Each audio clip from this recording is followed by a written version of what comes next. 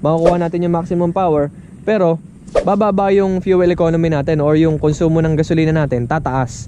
Kasi nga, sasakripisyo mo yung gasolina mo para sa performance.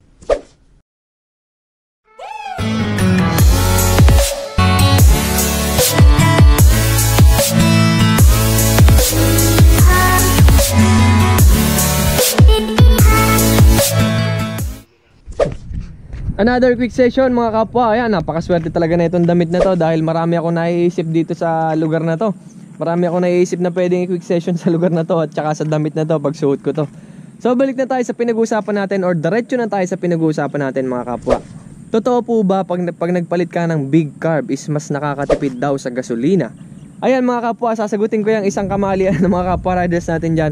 Hindi totoo yun mga kapwa. Hindi totoo na na mas tumitipid yung makina mo kapag nagpalit ka ng 30mm or 30 or 28 na carb. Ito na lang mga kapwa, 28 or 30 na carb. Mas tipid daw, mas tipid daw ang konsumo ng gasolina natin kapag nagpalit tayo ng big carb. Mga kapwa, mali yan kasi unang-una sa lahat, ito, opinion ko lang to mga kapwa, feel free to leave a comment kung babashin nyo ako or what. Pero ito, opinion ko lang mga kapwa. Kasi syempre, pag nagpalit ka ng mas malaking carb, ibig sabihin, bigger jettings, bigger hangin, mas maraming hangin ang papasok, mas, mala- mas malaki yung jettings, mas maraming konsumo ng gasolina yan. So ngayon mga kapwa, siguro nasasabi nila na mas tipid kasi nga hindi nila nakukuha yung maximum performance or yung pinakang peak performance hindi nila nakukuha kasi mali yung jettings nila. It's either masyadong maliit or masyadong uh, sala yung timpla nila kasi pag nagpalit ka ng mas malaking carb kasi malamang talaga malamang sa malamang talaga mas malaki yung konsumo mo ng gasolina. So hindi magiging baliktad yan mga kapwa. Huwag maniniwala dun sinasabi ng iba na pag nagpalit ka ng 30mm na carb, mas nagiging tipid. So hindi mga kapwa, huwag kayo maniniwala doon. Kasi every time nga na nagpapalit ka ng carb or nag-upgrade ka, lalong lalo na sa carb, pag nagpalit ka ng big carb, syempre kaya nga big carb eh. Mas maraming hangin, mas maraming gasolina yung kinakainan. So paano masasabi mas, na mas nagiging tipid yung motor mo pag naka big carb ka? So hindi mga kapwa, ayan, paulit-ulitin ko to ngayon mga kapwa. Isa, isa kasing kamalian yan, Eto mga kapwa, siguro, siguro, siguro, siguro, siguro nasasabi nila na tipid kasi nga sakal, sakal yung takbo ng makina. Kasi hindi nila nakuha yung pinakang maximum performance na kayang ibigay ng carb. Kumbaga yung full potential ng carb hindi nila mailabas kasi nga tinitipiran nila. So hindi mga kapwa, hindi hindi hindi kayo titipid sa sinasabi natin na mas magiging tipid pag mas malaki yung carb. Hindi mga kapwa. Mag-upgrade lang tayo ng carb mga kapwa, mga kapwa kung gusto natin na pagandahin yung performance or palakasin yung motor natin. Halimbawa may friendly game tayo or uh, tetestingin natin yung top speed ng makina natin tsaka lang tayo mag-upgrade ng bigger carb. Hindi yung sasabihin natin na mag-upgrade ako ng bigger carb papalit ako ng manifold. Mas tipid daw kasi pag big carb tapos mas malakas. Ang galing naman mga kapwa. Diyan ka naloloko ng mga nagpapabenta ng mga big carb. Kasi unang-una sa lahat mga kapwa laging sinasabi yun nga sabi ko with uh, ano ba ano ba yung kasabihan na yon with great power comes great responsibility. Sino ba nagsabi noon nakalimutan ko na mga kapwa. Basta yon kumbaga ang ibig sabihin nun mas malaki yung carb mo mas malaki yung konsumo ng gasolina nan para ka lang para ka lang nag ano nag uh, set up ng uh, sound system mga kapwa. Example sound system. Magse-set up ka ng maliliit na speaker. Syempre ang, ang tunog nan maliit lang. Or hanggang dun lang. Pero pag mag-set up ka ng malalaking speaker malakas yung kuryente, malakas yung konsumo ng gas, malakas yung hindi pala, malakas yung konsumo ng kuryente, malakas din yung tunog. Pero ang sinetup mo lang, halimbawa, sa setup ka lang, maliit na speaker lang, maliit yung tunog, maliit din yung konsumo ng kuryente. So, ganun lang kadali yun mga kapwa. Huwag kayo magpapaniwala dun sa sinasabi ng iba na makakatipid daw kapag nagpalit ng 30mm carb o ng big carb. Hindi mga kapwa, huwag kayo maniniwala dyan.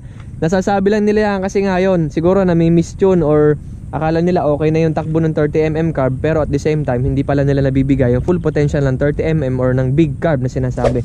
Kasi big carb meant to be kumonsume, kumonsume yan ng mas, mala, mas maraming gasolina or mas maraming nilalaman ng carb. Kasi nga mas malakas ang hinga mas malakas ang kailangan niya ng gasolina. So para mabigay mo yung uh, maximum performance ng motor mo or maximum performance ng big carb kailangan mo talaga magsakripisyo. Ngayon sabi ko nga, every time na nag-upgrade tayo, kailangan natin magsakripisyo. So pag mag-upgrade tayo ng carb, isa sakripisyo naman natin yung fuel efficiency natin. Makukuha natin yung maximum power, pero bababa yung fuel economy natin or yung konsumo ng gasolina natin, tataas. Kasi nga, sasakripisyo mo yung gasolina mo para sa performance. So, ganun lang naman kadali yung mga kapwa. Every time na meron tayong ina-upgrade, meron tayong sinasakripisyo. So, example na lang mga kapwa, pag nagpalit tayo ng high speed na sprocket, sinasakripisyo natin yung arangkada. Every time na magpapalit tayo ng low speed na sprocket, isinasakripisyo naman natin yung dulo or isinasakripisyo natin yung arangkada. So, nakadepende yan sa atin kung ano yung pinakanda best para sa atin, kung ano yung pinakanda best para sa sarili natin, kung ano yung pinakanda best para sa motor natin.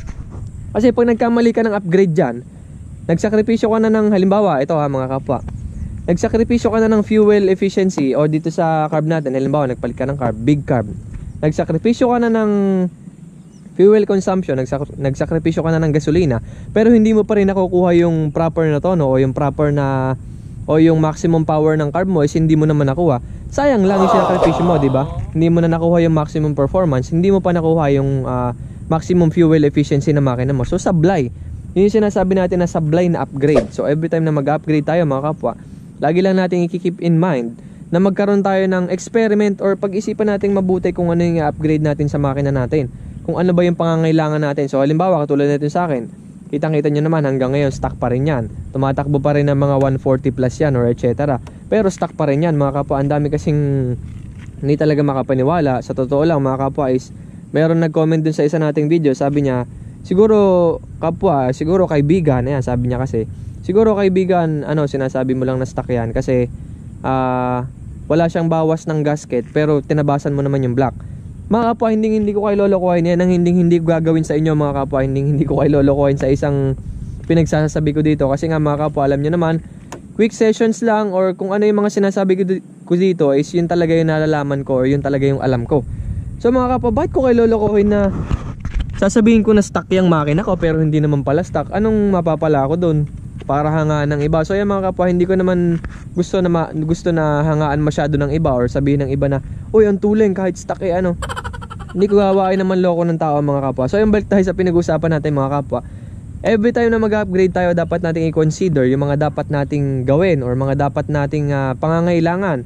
So kung kailangan natin ng better power, ito mga kapwa, konting tip. Salamat mga kapwa dahil pinapanood nyo hanggang dulo yung video kasi napapanood dito mga tips na to na importante para sa ating mga kapwa riders dyan. So ito yung napaka-importanting tip mga kapwa. Kung mag-upgrade tayo ng motor natin, ang pinaka-recommended ko mga kapwa, ito ang pinaka-recommended ko sa inyo mga kapwa. Pag mag-upgrade tayo ng motor, wag muna tayo mag-racing CDI. Magpalit tayo ng carb, mas magandang mas maganda or mas safe na magpalit tayo ng carb kaysa sa racing CDI.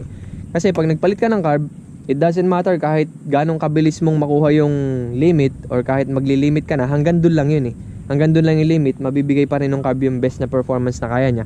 Pero pag nagpalit ka ng stock na stock carb ka tapos naka-racing CDI ka, diyan ka magkakaroon ng possible na problema ng makina mo.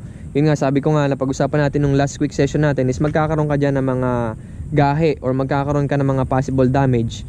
Yung mga sinasabi natin na major damage sa makina mo kapag nag-upgrade ka kagad ng CDI lang, lalong-lalo na kung ibababad mo sa red line. Yan, pinag-usapan natin yan dito sa video na to mga kapwa. Bago nyo kayo bash, panoorin nyo muna to. Sa sinasabi ko na masama ang racing CDI, panoorin nyo muna to kasi napaka-importante. Kasi tungkol yun sa sinasabi ko na okay lang mag-racing CDI ka kung hindi mo naman lagi ibababad sa red line.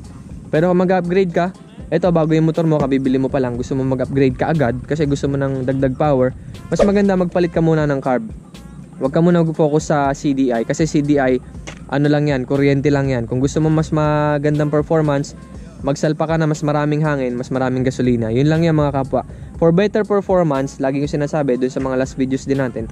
Kung gusto niyo ng better performance, meron nga tayo mga sasakyan kasi natin ngayon, meron ng mga turbo. So anong ginagawa ng turbo? Sinasalpa ka niya ng mas maraming hangin. So hindi tayo magfo-focus muna sa kuryente kasi ang kuryente is yun nga sa CDI, connected siya sa CDI, sa kuryente, sa spark. Hindi natin kailangan muna mag-focus doon. So mag-focus muna tayo dun sa hangin muna. So magpapalit tayo carb muna. Mas safe muna magpalit ng carb kaysa sa CDI. Wag muna tayo, wag muna nating i-prioritize yung CDI bago bago tayo magpapalit ng carb. So kung magpapalit tayo, carb muna bago CDI. So yun lang mga kapwa. Sana natuwa kayo sa video. Medyo mahaba na at sana naman naintindihan niyo pa rin yung video natin. So salamat ulit sa solidong suporta mga kapwa. Kung gusto niyo pa ng mga videos katulad nito, feel free to leave a comment mga kapwa. So ride safe and keep safe everyone. Bye-bye.